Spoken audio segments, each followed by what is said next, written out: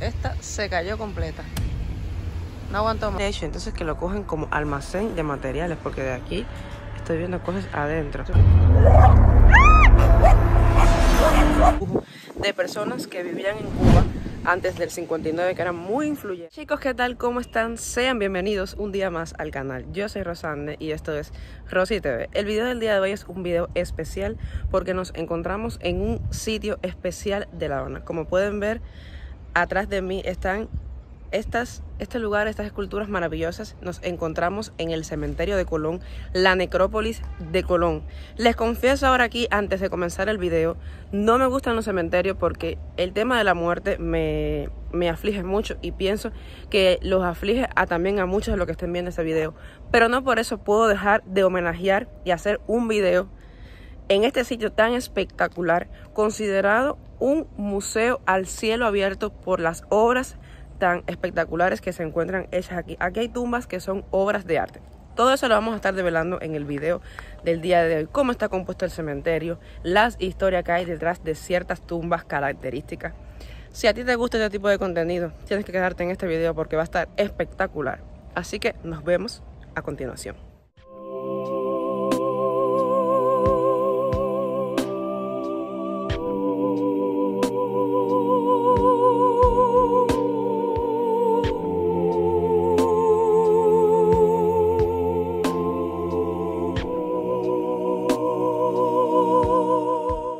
Los antecedentes datan de 1854, cuando el gobernador Márquez de la Pezuela proyectó la construcción de la necrópolis, que la construcción fue autorizada en 1866 y se empezó el 30 de octubre de 1871.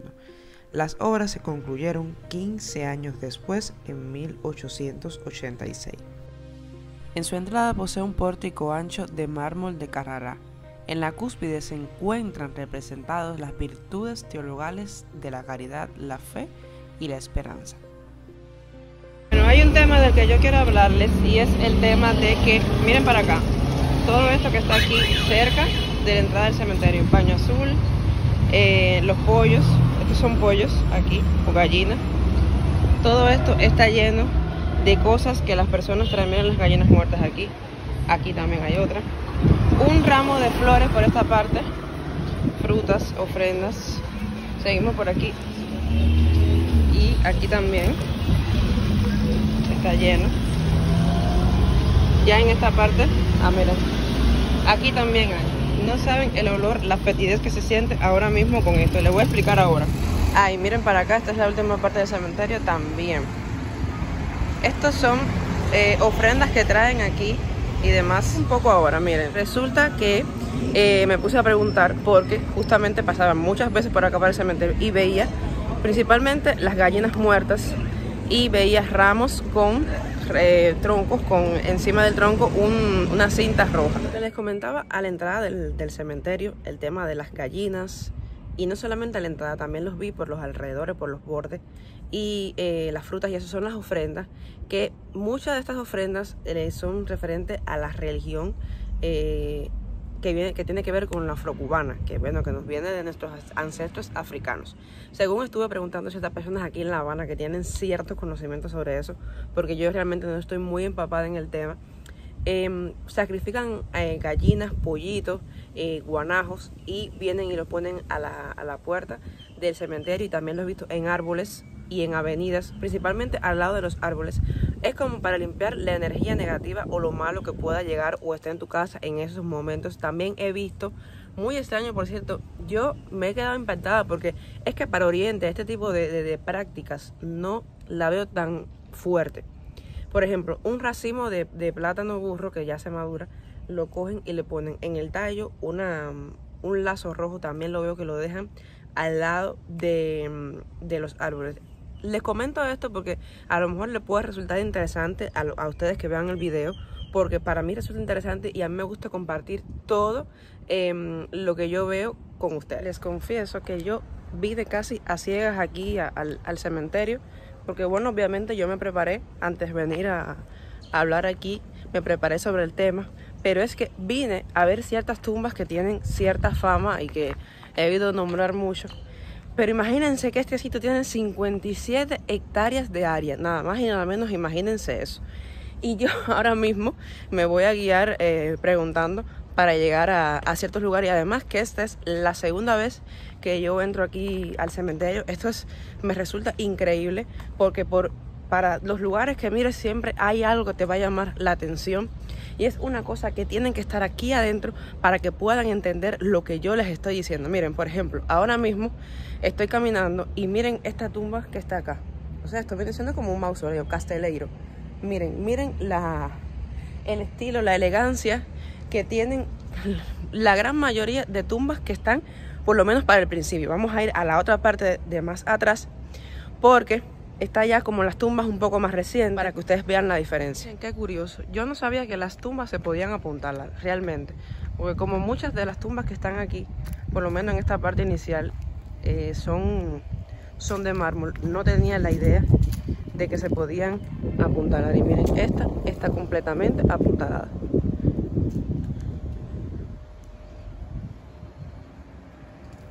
Un dato perturbador.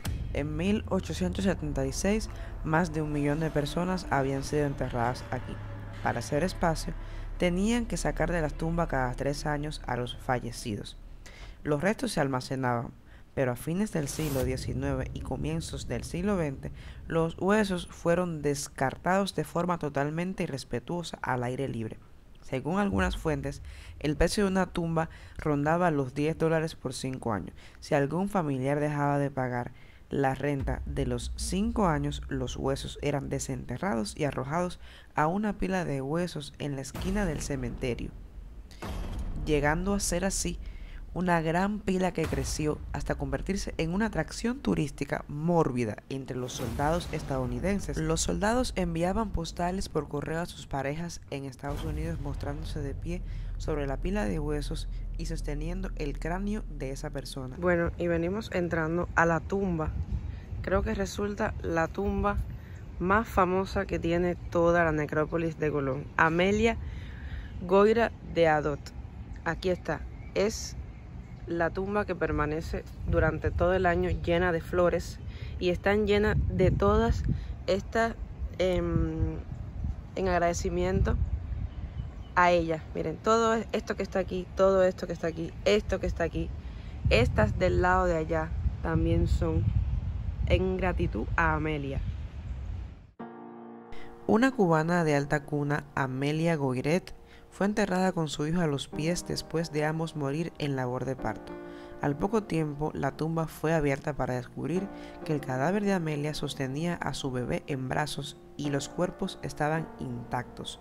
Tal milagro convirtió a la dama romántica en una de las imágenes más veneradas de Cuba. Han venido cientos de miles de personas de todo el mundo a pedir aquí. Sobre todo las madres vienen a pedir, aquellas que no pueden concebir hijos, a pedir partos sanos e hijos sanos. Justamente acabo de hacer el ritual que se le hace a Amelia. Ahí como ustedes pueden ver, no sé si lo hice verdaderamente bien, si entré como tenía que entrar. A mí un señor vino y me explicó más o menos cómo tenía que hacer las cosas. No, no sé si lo hice bien o lo hice mal. De todas maneras, él me dice que muchas personas que han venido aquí a pedirle eh, que le conceda cosas, se le ha cumplido. Aquí hay muchos muchos pedidos de que mi niño nazca sano y esas cosas. Yo no soy de querer mucho en eso, creo que hay un Dios allá arriba en los cielos que, es el que domina todo, pero siempre hay, que tratar de creer en algo en, en esta vida. Este cementerio es el más importante de todo Latinoamérica. está entre los tres primeros más grandes del mundo. Creo que es el tercero más grande del mundo y el más grande de toda América Latina. Es el cementerio más importante de toda Cuba. Es que nada más hay que ver y recorrerlo para darse cuenta que es el más importante de toda Cuba. Y Además, es el cementerio que tiene el nombre de almirante Cristóbal Colón. Es el único cementerio de este tipo que tiene su nombre en toda América. Yo quiero ahora que hagamos algo muy importante. Quiero homenajear de alguna manera a las personas que están aquí enterradas, otorgándole 10 segundos de silencio en este video y que ustedes me acompañen y además escuchar el sonido ambiente que se produce en este sitio santo.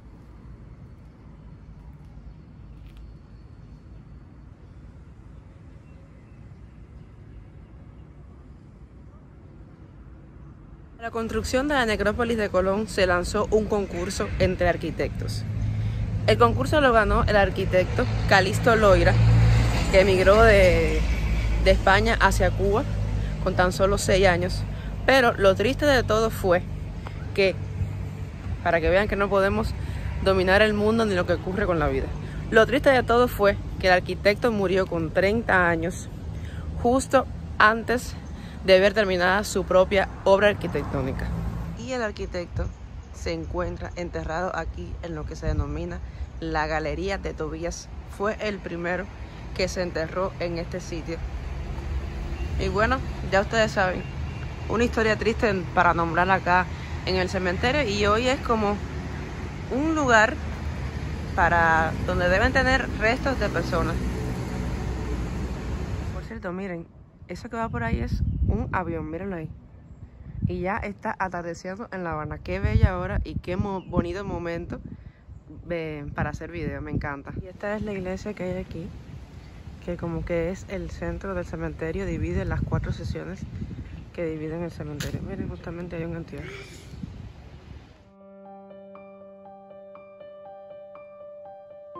La forma rectangular de la necrópolis evoca un campamento romano estilo románico bizantino, con una retícula de calles manzanas y calzadas. A lo largo del cementerio existen varias señalizaciones que te indican a qué lugar coger para que no te pierdas dentro de tan grandioso lugar.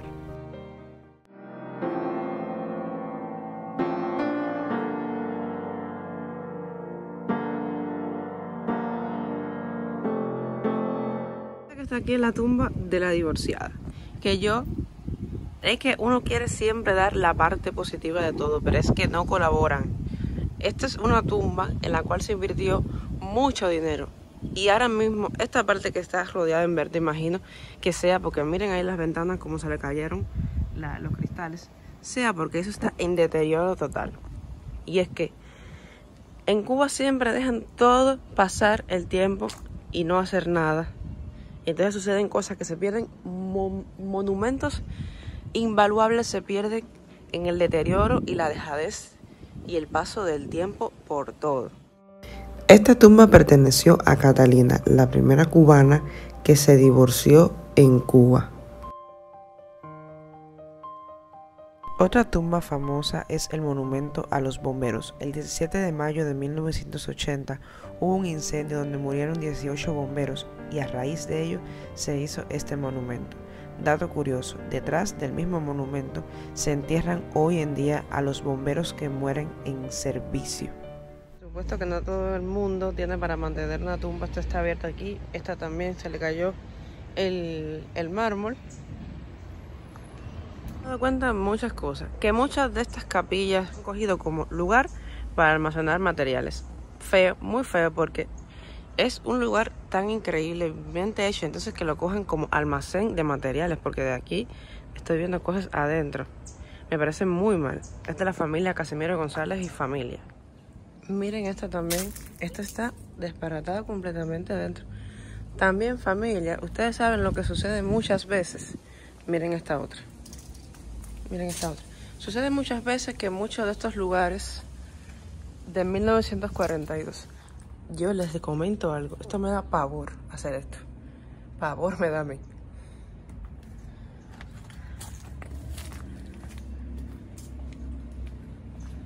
Sucede con muchas de estas tumbas, miren por ejemplo esta otra también, que Em, eran tumbas sumamente hermosas, sumamente cuidadas, con mucho lujo, de personas que vivían en Cuba antes del 59, que eran muy influyentes. A raíz del triunfo de la revolución, muchas personas eh, fueron desalojadas de su vivienda, eh, de sus propiedades, y muchas se fueron del país. No quedó ningún miembro de su familia y estos lugares, estas tumbas quedaron desatendidas y abandonadas.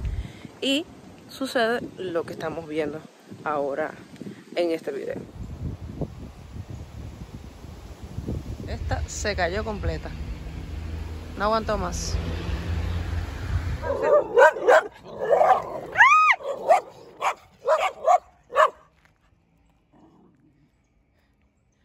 Ay, qué clase de susto ya acabo de pasar, por Dios. Yo creo que a mí nunca en la vida me había pasado eso. yo, yo veo un perro y me meto con él porque a mí me gustan los animales y yo, pero no sabía que esos perros se iban a tirar encima de mí. De hecho, un perro me mordió en la pierna. A ver, me tiró más o menos el diente, pero no creo que pase mucho más allá de eso. Ya yo, ay, qué susto me di de momento, pensé que todos venían para arriba de mí. Y aquí no hay absolutamente nadie. Aquí mismo donde yo estoy no hay absolutamente nadie.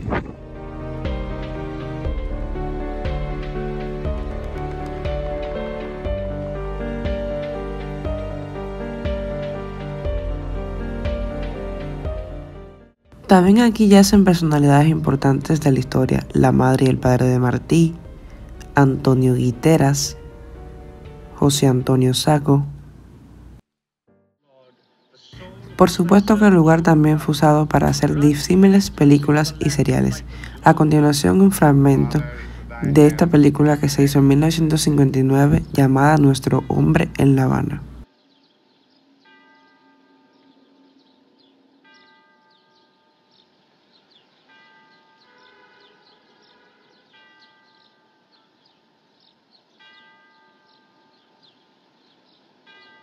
Weren't many of us, were there? I wish Beatrice and Rudy could have stayed.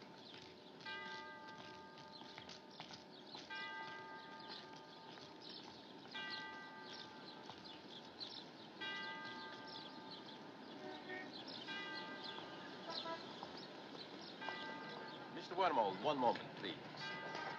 I have signed your deportation papers, after all. For what reason? Esta familia le hizo veneración a la Virgen de la Caridad. Miren esta tumba que acabamos de encontrar aquí.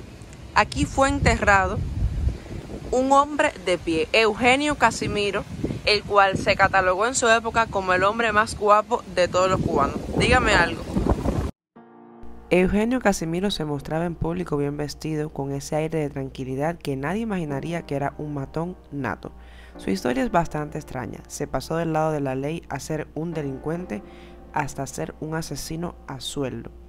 Este tuvo un romance con la hija de Alfredo Sayas Bazán, que en su tiempo fue presidente de Cuba. Todo fue perfecto hasta que un día la mujer lo encontró siéndole infiel y justamente en ese momento le provocó un infarto. Eugenio murió tiempo después y decidió que al enterrarse de forma vertical, porque como él decía, un tipo que ha caído de pie en la vida tiene que caer parado en el infierno. Y como yo les decía que aquí se encuentran auténticas obras de arte, díganme de esta tumba que es una auténtica obra de arte en toda su esplendor.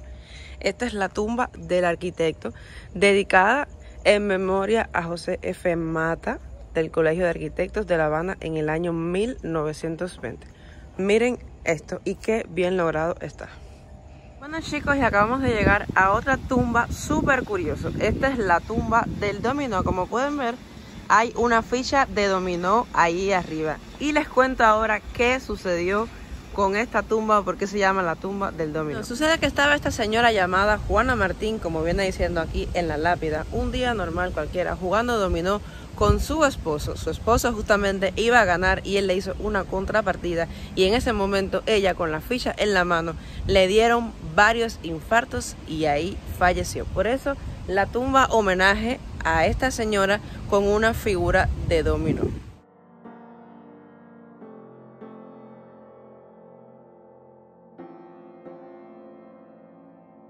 Salí un momento. Estamos en la parte que no es de los ricos del cementerio, miren. Aquí se puede ver desde ya mismo porque miren cómo tienen las paredes exteriores. Y es que no voy a decir que el cementerio no se restaura. El cementerio sí se restaura y se le pasa las manos, pero se le pasa la mano a esta parte donde el cementerio es más llamativo, que es al principio, a la entrada, que es como la parte donde están las tumbas de las personas ricas. Esto lo vamos a ver ahora mismo cuando entremos para que ustedes vean todo lo que yo les estoy diciendo. Así venimos entrando a la parte de lo que vienen siendo los simples mortales. Aquí si no están esas hermosas esculturas, las tumbas son normales. Inclusive que hay gente que son de 1950, 40 y demás. Pero se puede ver el deterioro marcado de, las tumbas. Miren por ejemplo aquí. que no es como en la primera parte que estaba todo ese esplendor, toda esa gloria en sus tumbas.